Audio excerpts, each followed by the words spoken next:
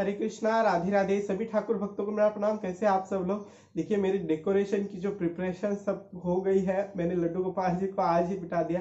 बहुत अच्छा लग रहा है डेकोरेशन एक बार का हो गया क्योंकि बहुत अभी बिज़ी चल रहा था तो इस वजह से डेकोरेशन बहुत जल्दी कर दिया। तो इसका वीडियो भी बनाया है, शाम तक शायद आपको ये वीडियो मिल जाए। तो देखिए आज का ये जो कमेंट का चल रहा था तो आज हम जो कमेंट्स आए थे हमारे इसके ऊपर, मैंने जो कम्युनिटी टैब पे पोस्ट डाली थी तो उसका आज हम देखने वाले हैं। तो फिफ्टी नाइन कमेंट्स आए थे, मैंने मतलब मुझे लगा नहीं था कि इतने कमेंट्स आएँगे। बट आ गए। तो सबसे पहली कमेंट जो आई है, ममता ओझा जी की आई है। कुंज बिहारी श्री हरिदास दुलारी सखी। देखिए, मैं सखी नहीं हूँ, मैं भैया बोल सकते हो आप मुझे। आपके श्री लाल लालजू दर्शन बड़े ही प्यारे हैं, सखी बड़ी प्यारी अनुपम छवि छटा लावण्य है। उनकी प्यास प्यारी सी मुस्कान लिए रहते हैं। जब वो को देखो सकी जो कोई प्रश्न नहीं, पर हृदय में एक ललक हुई जो आपके हृदय तक पहुँचाने का की इच्छुक हूँ। लाडली जू की कृपा से सकी जू, बहुत बड़ी कमेंट है, मैंने पढ़ लिया था, मुझे समझने में एक दो बार पढ़ना पड़ा। तो इनका मान, इनका कहना एक कि आप किशोरी जी लेके आए छोटे लड्डू गोपाल जी के साथ देखिए। अभी तक कोई प्लानिंग नहीं है। अगर उनको आना हुआ तो वो खुद आ जाएगी। दूसरा कमेंट जो है देखिए शार्की लव जाकी जी का है। तो उन्होंने तीन क्वेश्चंस पूछे। आपको पोशाक या श्रृंगार बनाने के लिए ज़्यादा से ज़्यादा कितना समय लगता है? वो पोशाक के ऊपर डिपेंड रहता है कि मुझे कितना समय लगता है। दूसरा उनका सवाल है सिंपल से सिंपल ड्रेस और हेवी से हेवी वाला ड्रेस आपने प्रभु जी के लिए कौन सी बनाई है? देखिए हेवी ड्रेसेस मुझे खुद पसंद नहीं है ज़्यादा बनाना बट मैं सिंपल में से उसको हेवीनेस देने का जो एक मेरा आ, बोल सकते हैं कि एक आ, होता है कि प्रयत्न होता है। तो वो ही होता है और वैसे मेरे पास बहुत सारे ड्रेसेस हैं तो बोल नहीं सकते। और आपकी सबसे डिफ़िकल्ट कॉम्प्लेक्स ड्रेस कौन सी वाली बनी है, ये आप बनाना चाहते हैं। तो देखिए, मुझे नीटिंग सीखनी है और नीटिंग वाली जो पोशाक है, वो बनानी है, वो मुझे डिफ़िकल्ट जाता है थोड़ा। इट्स निताई जी कमेंट करती है are you connected with ISKCON ji नहीं, मैं इस्कॉन से कनेक्टेड नहीं हूँ। Are you from Vrindavan ji नहीं, मैं वृंदावन से नहीं, मैं is YouTube your full time job नहीं मेरा फुल टाइम जॉब नहीं है मैं अभी पढ़ रहा हूँ और ये मेरा पार्ट टाइम जॉब है। मतलब कि ये मैं ऐसे ही करता हूँ मुझे पसंद है तो इस वजह से मैं ये करता हूँ। तो कोई पैसे कमाने का मेरा यह यूट्यूब के ऊपर इंटेंशन नहीं रहा है। जी लड्डू को किस डायरेक्शन में सुला आ, सुला चाहिए? आ, और जन्माष्टमी के दिन लड्डू को सुबह ही तैयार करें या रात 12 बजे? आई I मीन mean, उन्हें न्यू ड्रेस कब धारण करवाए? देखिए न्यू ड्रेस आप उनको रात 12 बजे धारण करा सकते हैं और उनको रात 12 बजे स्नान कराइए, सुबह भी स्नान कराइए, रात में भी स्नान कराइए और उनको डायरेक्शन में सुलाना तो मेरे ख्याल से पूर्व पश्चिम डायरेक्शन हर किसी के लिए सही रहता है तो आप उनको पूर्व पश्चिम डायरेक्शन में सुला सकते हैं। लड्डू गोपाल के पंचामृत के लिए कौन कौन सी गुंजन सुनेजा जी पूछती है? लड्डू गोपाल जी के पंचामृत के लिए कौन कौन सी चीज़ें यूज़ की जाती है और क्या लड्डू गोपाल का पंचामृत प्रसाद और स्नान करने कराने वाला पंचामृत सेम होता है। देखिए अगर आप भोग लगा रहे हैं तो अलग रखिए और अगर आप आ, स्नान करा रहे हैं तो अलग रखिए। पंचामृत में पाँच चीज़ें आती है दूध दही मा सॉरी दूध दही घी और हनी मतलब कि मधु और बूरा या शक्कर जो पाँच चीज़ें होती है वो पंचामृत में आती है। सचिन ममता जी पूछते हैं कि लड्डू गोपाल का, के लिए जन्माष्टमी पर डेकोरेशन आइडिया दो। ये देखिए, ये डेकोरेशन आने वाला है। देखिए, मुझे बहुत पसंद आया। सिंपल साड़ियों से मैंने डेकोरेट किया है तो वो भी डेकोरेशन जल्दी आएगा। रामपाल सिंह जी भी मुझे दो क्वेश्चन पूछते हैं। रात 12 बजे गोपाल ही को गोपाल जी को कैसे ड्रेस पहनाए? हैवी या लाइट देखिए लाइट ड्रेस पहनाए, रात का टाइम होता है। दूसरी बात, रात 12 बजे गोपाल जी को भोग लगाना है या नहीं? देखिए, आपके यहाँ पे कौन सा नियम है पता नहीं बट बहुत लोग छप्पन भोग भी लगाते हैं। बहुत लोग जो है नंदोत्सव के दिन छप्पन भोग लगाते हैं या फिर सादा भोग लगाते हैं। हमारे यहाँ पे फलाहार लगता है तो मैं रात बारह बजे फलाहार लगाता हूँ ठीक है? तो उसके बाद राणा पंचल जी पूछते हैं हेलो मैम मैम नहीं हूँ भैया सॉरी राणा जी आ, आ, हमारी ये फ़र्स्ट जन्माष्टमी है तो क्या क्या करते हैं? देखिए फ़र्स्ट जन्माष्टमी है तो आपके रिलेशंस में रिलेटिव्स में जैसे सेलिब्रेट करते हैं आप वैसे सेलिब्रेट कर सकते हैं क्योंकि देखिए हर एक जगह का तरीका तौर तरीके अलग होते हैं पारने का डेकोरेशन का वीडियो कब डालोगे? तो ये डेकोरेशन का वीडियो आएगा, तब सब डेकोरेशन मैं उसी के अंदर डाल दूँगा। तो ये पालना देखिए, बहुत सुंदर लग रहा है। आप मेरे गोपाल जी को भी देख सकते हैं। मनीषा पिपलिया जी पूछती है, आप लड्डू गोपाल को इयरिंग्स किस चीज़ से चिपकाते हैं? देखिए इयरिंग्स जो है, मैं उनको एक श्रृंगार वाला गोंद मिलता है येलो कलर का तो उससे जो है, मैं उनकी इयरिंग्स चिपकाता हूँ। तो आपको अगर वो ना मिले तो आप बी वैक्स मतलब कि हनी वैक्स होता है, वो इस्तेमाल कर सकते हैं, या फिर ब्लू टैग बोल के, रे, बहुत रियली मिलता है ये भी बट अगर बाय चांस मिल जाए तो ब्लू टैग ऐसा एक नाम का होता है, वो भी आप इस्तेमाल कर सकते हैं। तो आप एक वीरेंद्र सिंह जी पूछते हैं, लड्डू गोपाल का ज्वेलरी और कलेक्शन का वीडियो कब बनाओगे? जन्माष्टमी होने दीजिए पहले, मुझे बहुत बिज़ी हो जन्माष्टमी के रिलेटेड तो वो होना, हो जाने दीजिए, फुर्सत में बनाएँगे, फुर्सत में देखेंगे, कलेक्शन और बढ़ते जाएगा, तब देखेंगे, ठीक है? राणा पंचल जी और एक क्वेश्चन पूछते हैं, जन्माष्टमी दो दो तारीख की है, रखी है तो कब को रखनी है, ग्यारह या बारह? देखिए वृंदावन में जन्माष्टमी बारह पे मनेगी और यहाँ पे जो है आ, मतलब महाराष्ट्र में हम 11 की मनाएँगे। 11 रात 12 बजे हम जन्माष्टमी मनाएँगे। वृंदावन की 12 बजे। आप जिसको फॉलो करते हैं उस हिसाब से मना सकते हैं। अभी मेरे यहाँ पे सभी मोहल्ले वाले या फिर सब रिलेशन वाले जो है 11 11 तारीख को मनाएँगे तो मैं अकेला 12 को नहीं मनाऊँगा। मैं उनके साथ ही मनाऊँगा तो उस दिन ही मैं सबके साथ में सेलिब्रेट करूँगा। ठीक है? शार्की लव जैकी फिर से क्वेश्चन पूछते हैं। लड्डू गोपाल के आपने जितने भी पोशाकें बनाई हैं, उनमें से आपका फेवरेट कौन सा है? आप ये ज़रूर बताइए। देखिए, ये जो उन्होंने पहनी है, ये भी फेवरेट है। मुझे पीताम्बर उनके ऊपर बहुत अच्छा लगता है, येलो कलर तो वो मुझे बहुत पसंद आते हैं। तो ऐसी एक पोशाक नहीं है। मुझे उनकी हर एक पोशाक बनाई हुई पसंद आती है, क्योंकि वो मैंने खुद अपने हाथों से बनाई हुई है। श्याम दीवानी जी पूछती है, श्री राधे, मैं आपसे ये पूछना चाहती हूँ कि हम जब ठाकुर जी पर अपना प्यार दिखाते हैं तो बहुत लोग जो है चुंबन भी करते हैं तो ये क्या है सही है या गलत? ज़रूर ज़रूर बताइएगा। देखिए, ये बात अभी बोल नहीं सकते कुछ, क्योंकि हर एक की भावना अपनी अपनी अलग होती है। कोई उनको बेटे के रूप में पूछता है तो देखिए इसके लिए मुझे तो नहीं लगता कि कोई नियम होना चाहिए, क्योंकि ये प्रेम से रिलेटेड कोई चीज़ है। तो देखिए, हर एक का नियम अलग होता है, हर एक का तौर तरीका अलग होता है तो हर एक अपने अपने हिसाब से जो है, उनको लाड़ लड़ाता है। तो ये मुझे सही या गलत, इसके अंदर मैं कोई ये नहीं कर सकता, बाकी मैं इनका चुम्बन कभी नहीं करता। दूसरी बात, मनमीर गोयल जी पूछते हैं, लड्डू गोपाल की ड्रेस कलेक्शन बनाओ तो ज़रूर बनाएँगे कलेक्शन। वीरेंद्र सिंह जी बोलते हैं, राजस्थानी जोकर वाला वीडियो बनाओ। देखिए, जोकर नहीं होता है, चोकर होता है, जिसे नेकलेस बुलाया जाता है, ये ऊपर वाला नेकलेस। तो इसके एक वीडियो मैंने डाली हुई है। और अगर कोई आइडिया आ जाए तो आप सभी के साथ मैं ज़रूर शेयर करूँगा। अनय शुक्ला जी बोलते हैं, आप जरदोसी मोती चेन को क्लोजली से दिखाइए और क्या है बताइए और इसका रेट भी बताइए। देखिए, ये क्लोजली मैं आपको क्या करूँगा इंस्टाग्राम पे जो है फ़ोटो पोस्ट कर दूँगा या फिर जो एक वीडियो बनाऊँगा इससे रिलेटेड कि सामान कैसा कैसा होता है तो आपको जरदोसी के बारे में बताऊँगा। जरदोसी मुझे बीस रुपए तोले के हिसाब से मिलता है तो वो ग्राम्स के हिसाब में मापा जाता है तो दस ग्राम का मुझे बीस रुपए देना पड़ता है। अलका ठक्कर जी, अगर हमारे गोपाल जी का कलर उतर गया है तो हम क्या करें? और हमें दूसरा लेना है तो दूसरा गोपाल जी का हम क्या कर सकते हैं? और गोपाल जी खंडित हो जाए तो उसका भी क्या करें? अलका ठक्कर अनुवाद से हो।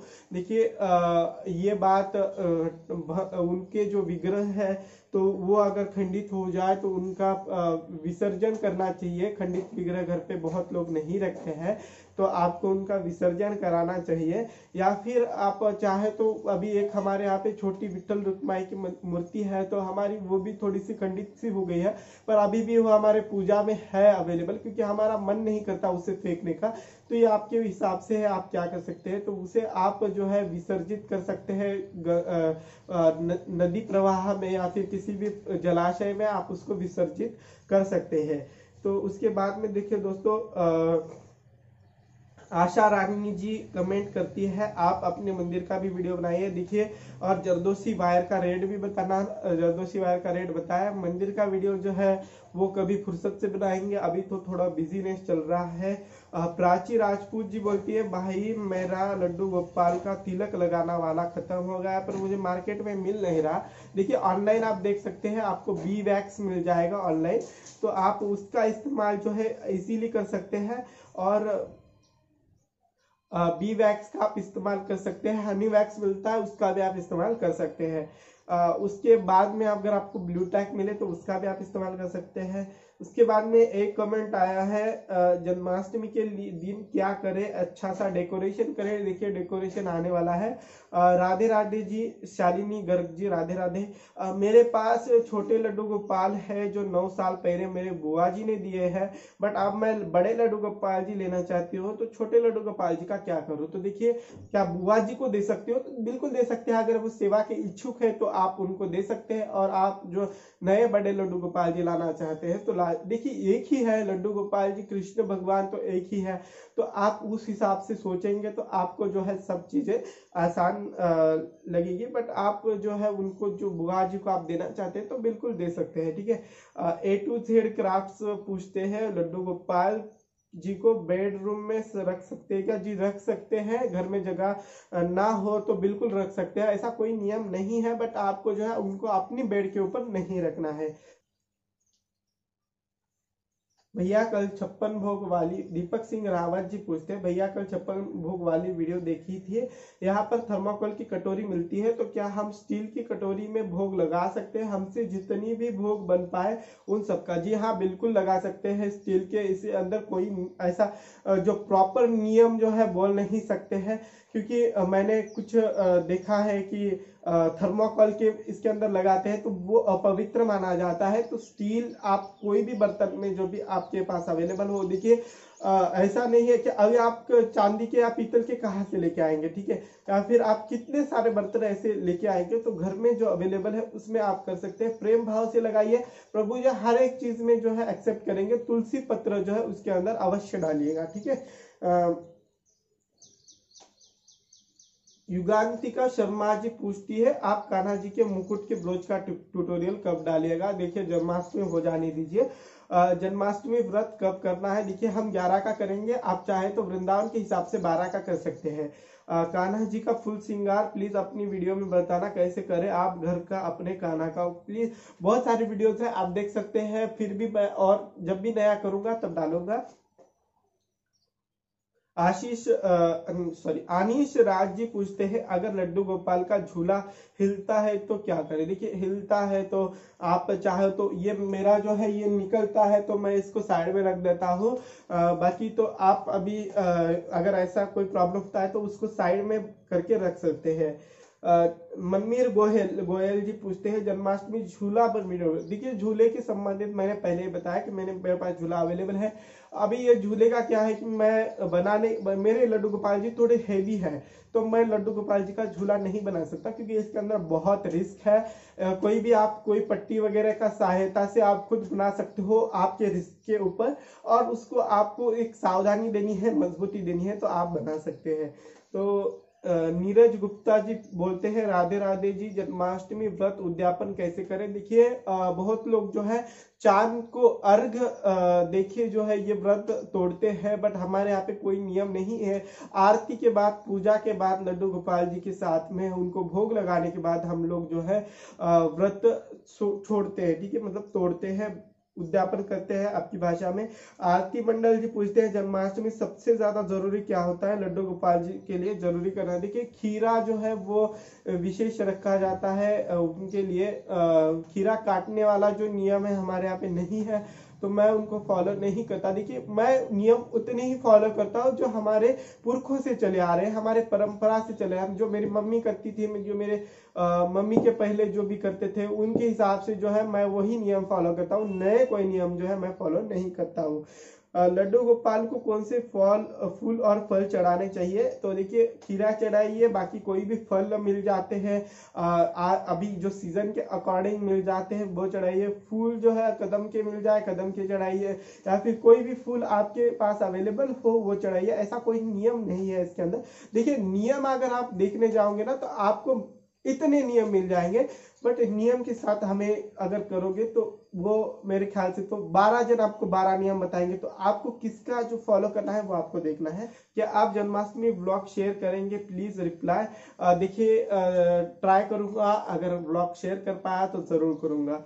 तो लड्डू गोपाल जी का जन्म कब कराना है? लड्डू गोपाल जी का जो जन्म है, वो हम रात 12 बजे कराते हैं, या फिर आप चाहो तो बहुत लोग जो है खीरा काट के करते हैं, हमारे यहाँ पे नहीं होता है। हम डायरेक्टली उनका पंचामृत स्नान करके जो है वो जन्म कराते हैं। सीमा सैनी जी ऑल लड्डू गोपाल जी की ड्रेस का और चोली का मेजर मेज़रमेंट से रिलेटेड वीडियो डाली है। आप देख सकते हैं। चाहे तो लिंक मैं डिस्क्रिप्शन बॉक्स में दे दूँगा। जी प्रश्न ये है कि जन्माष्टमी के दिन कलश में रखे पानी जन्माष्टमी के दिन चाँद को अर्घ देते हैं। जी हाँ बहुत लोग देते हैं। हमारे यहाँ पे ऐसा कोई नियम नहीं है। तो आप बिल्कुल दे सकते हैं चाँद का चाँद को अर्घ देना इस दिन शुभ माना जाता है। यु, युकांतिका शर्मा जन्माष्टमी की पूजा ज़रूरी बातें को पूजा के समय ध्यान देना चाहिए। तो देखिए ये मैं जो वीडियो बनाऊँगा लास्ट में या फिर नेक्स्ट वीडियो में जो है, मैं एक्सप्लेनेशन के साथ में बताऊँगा। प्लीज़ बताइए, गौरी लाइफ लड्डू गोपाल, राधे कृष्णा जी पूछते हैं। प्लीज़ बताइए, क्या हम दो बार मनाए बर्थडे कान्हा जी का, जिस दिन ये घर आए थे और सिर्फ़ जन्माष्टमी मनाई? देखिए, दो बार मनाना चाहिए। अगर आपको डेट याद है तो आप बिल्कुल मना सकते हैं। जन्माष्टमी पे अलग मना सकते हैं। तो अगर आप चाहो तो जन्माष्टमी पे ही एक ही दिन मना सकते हैं। ये आपके हिसाब से, पर जन्माष्टमी बिल्कुल हमें मनाना चाहिए। प्रवीण जिंदल जी पूछते हैं, लड्डू गोपाल जी को किस टाइम भोग लगाना है? जन्माष्टमी को उस रात शयन कराते हैं या नहीं?